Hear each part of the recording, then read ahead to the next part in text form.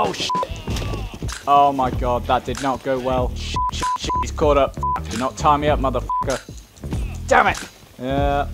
Well, at least it gives me time to look for the nearest fast travel point. Oh, it was right there.